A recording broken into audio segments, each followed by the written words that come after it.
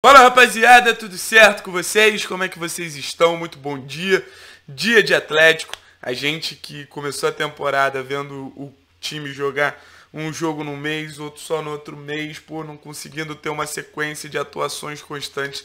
Agora tem uma semana premiada com o Atlético jogando no final de semana, jogando na terça, jogando na quinta, várias competições.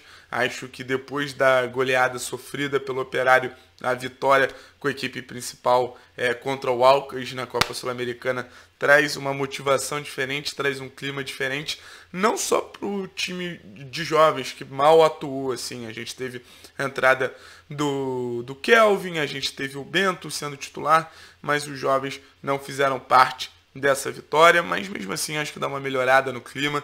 É, o Atlético que vinha de três derrotas no início da temporada, muita gente cobrava o resultado, mas também cobrava uma melhora no desempenho. Afinal, mesmo no jogo onde ele criou mais, mesmo no jogo onde o desempenho em algum momento foi aparentemente melhor, o Atlético tomou uma goleada. Então chega nessa quarta rodada, ou pelo menos nesse quarto confronto de Campeonato Paranaense, com uma responsabilidade, é, precisando entregar algo a mais. Então é um jogo que o Bruno Lazzaroni precisa ser muito inteligente, o elenco precisa ser muito inteligente para saber jogar, saber enfrentar um dos times que, se a gente pegou dos melhores times do campeonato, é, se a Norte está bem no Paranaense, está bem na Copa do Brasil, o Cascavel também está bem no Paranaense, Operário é time de Série B. Agora vai começar é, a gente enfrentar os times mais fracos da competição. E o Cascavel CR, não é o FC Cascavel, é, é uma dessas equipes que mostra bastante fragilidade. Mas começando a falar da escalação, qual escalação eu optaria, eu, eu vou falar para vocês o seguinte: acredito que o Atlético precisa de um fator novo. Acho que depois da goleada precisa de algo diferente para é, dar uma motivação, trazer uma sensação de, cara, agora vai. Mas a questão é, muita gente está olhando esse fator novo, jogadores mais experientes, jogadores da equipe principal. Eu vou para um outro lado. Eu vou buscar jogadores mais jovens ainda. Eu buscaria o fator novo nos jogadores do sub-17, pelo menos em posições específicas onde eles poderiam auxiliar e auxiliar bastante. Então vamos para a escalação que eu vou explicando, vocês vão acompanhando e deixem a escalação de vocês aqui nos comentários também. Deixem like, se inscrevam no canal. É, a gente vai começar a live uma e meia da tarde, três horinhas antes do jogo de praxe. A gente vai acompanhando, vai vendo quem vai jogar, quem não vai jogar. Conto com a presença de todos vocês. Sei que o horário não é do melhor, mas quem estiver no trabalho, bota o fonezinho de ouvido, a planilha na frente. Quem estiver na escola, bota a live ali é, estudando, né, como, como fundo do, do estudo. Então, quanto com a, com a ajuda, a presença, a audiência de vocês nesse jogo contra o Cascavel. Mas vamos para a escalação. Cara, o Bento agarrou bem contra o Alcas. Achei o Bento seguro, uma postura bem diferente que ele vinha tendo no campeonato estadual, principalmente na bola aérea. Acho que o Bento ainda precisa melhorar. Um goleiro tão alto. Tem um jogo legal com os pés, debaixo das traves vai super bem, mas na bola aérea ainda acho que o Bento precisa melhorar. Então eu daria um descanso pro Bento. Jogou contra o Alcas, foi bem contra o Alcas. Então, Anderson, recebe essa oportunidade. Anderson que vem recebendo propostas de clubes que vão jogar Série A, vão jogar Série B. Eu manteria o Anderson no elenco, nem pensaria em negociar e botaria ele para jogar. Não está no elenco à toa, meu filho. É, agarra essa oportunidade e mostra a boa Série B que você fez. Mostra que é um goleiro de potencial, mostra que o Atlético pode realmente contar com você, não só no Campeonato Paranaense emprestar, mas ficar ao longo da temporada, em alguma necessidade você entrar, jogar, é, mostrar que pode ser realmente bem útil. Então, o Anderson é, seria o meu goleiro nesse jogo. Na lateral direita começa a minha série de garotos, minha série do Sub-17. Eu tenho certeza que alguém é, vai concordar comigo, porque esse nome é muito bem comentado pela última temporada positiva que fez. Não é um jogador originário da lateral direita, mas faz a lateral direita muito bem, um jogador construtivo. E é um jogador que, por exemplo, não é tão mais novo que o Calegari do Fluminense. Então acho que o Atlético pode ter essa ousadia sim, com ele. Ataíde. Ataíde seria o meu lateral direito. Léo Ataíde. Dupla de zaga, Thiago. Qual seria a sua dupla de zaga? Eu iria de Luan Patrick e Lucas Halter. Luan Patrick, que se eu não me engano acabou viajando lá para o Equador, mas não entrou em campo, então meteria o Luan, meteria o Halter. Acho que o Edu precisa desse descanso, o Edu precisa ser poupado emocionalmente de um confronto. Acho que o Halter está fazendo um bom campeonato, teve um probleminha ali de lesão, não jogou contra o Operário, a gente viu como foi frágil a defesa do Atlético contra o Operário, então é, pelas fotos de treinamento a gente já tem o Halter novamente, então para mim Halter e Edu, e Halter e Luan Patrick, Edu no banco. É, na lateral esquerda eu manteria a estratégia de tentar potencializar nossos laterais.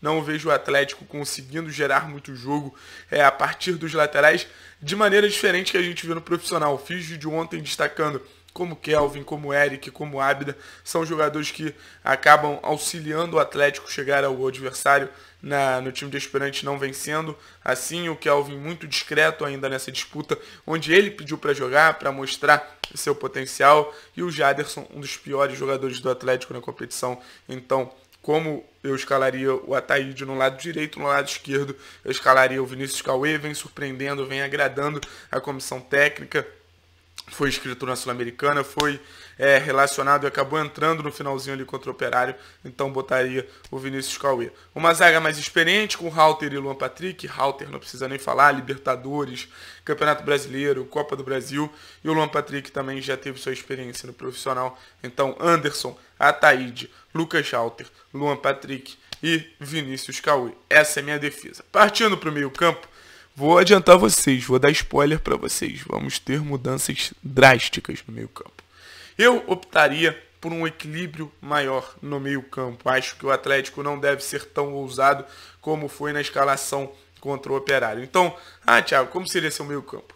Acho que o melhor jogador do Atlético no Campeonato Paranaense por enquanto, Cauã de camisa 5, jogador que auxilia na saída de bola, é, até chegou para finalizar bem contra o Operário, então é um jogador que vem é, evoluindo num processo que ainda não mostrou tanta evolução.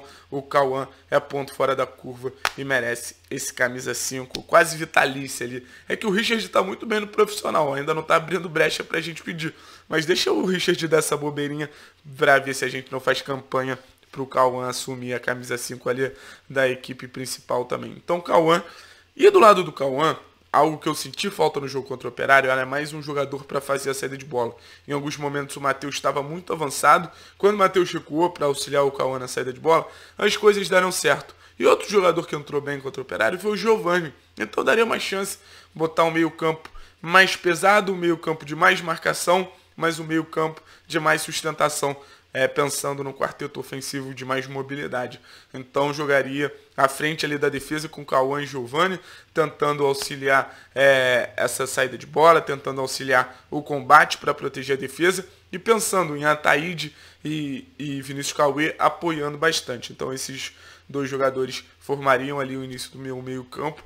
E pensando no quarteto ofensivo, eu botaria um quarteto ofensivo, como eu falei, de muita mobilidade. E lembrando, Campeonato Paranaense é laboratório. A gente tem que testar, tem que ter firmeza nos nossos testes, nos nossos palpites, para depois avaliar se foi positivo ou negativo. Então manteria o Jajá de camisa 10. Eu manteria o Jajá centralizado. Acho que é um jogador que tem características possíveis para jogar na zona mais congestionada do campo. Atua bem em pequenos espaços, tem habilidade.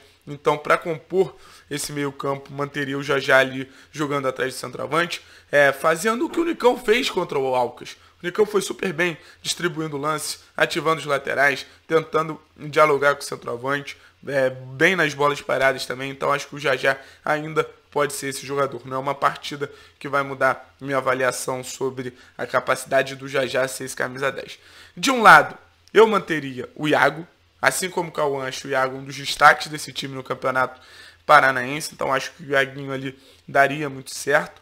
E do outro lado, sabe o que eu botaria? Botaria o Denner. Se o Denner estiver bem de saúde, para fazer o movimento do Canizinho, um ponta esquerda que vem para dentro criar e abre o corredor para o Vinícius Cauê. Então acho que se a gente for parar para pensar, Cauã, Giovanni, Jajá, Denner e Iago, é um meio campo mais experiente, é um meio campo é, que tem sua ousadia, tem sua mobilidade. O Denner pode vir para dentro para o Jajá e para a ponta, pode inverter também. Então acho interessante essa linha de três de Iago, Jajá e Denner.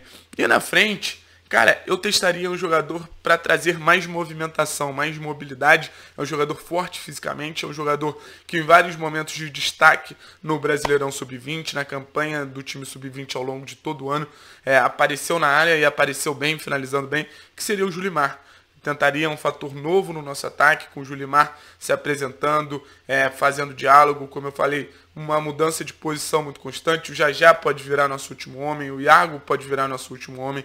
Então, é, nesse jogo contra o Cascavel, buscaria mais mobilidade na frente, mais segurança no sistema defensivo e mais apoio nas laterais. Acho que pode dar certo. Aí você imagina um Atlético atacando, num, se defendendo num 4-4-2, com Denner e e Julimar mais à frente, tentando pressionar, o Jajá e Julimar, e atacando com uma dupla de ataque ali de Iago e de, e de Julimar, os dois laterais bem avançados, Jajá e Denner trabalhando por dentro, junto com o Cauã e Giovanni, e uma linha de três ali, é, se a gente for parar para pensar faz bastante sentido, é bem compatível com a equipe principal e eu acho que pode ser é, o time que vai trazer a primeira vitória do Atlético. Então, não optaria por um fator novo mais experiente, mas muito pelo contrário, optaria por um fator novo mais jovem, beleza? Daqui a pouco eu entro live, a gente debate esses aspectos de jogadores mais jovens, jogadores mais experientes. Conto com a presença de vocês. Tamo junto, viu? É nóis.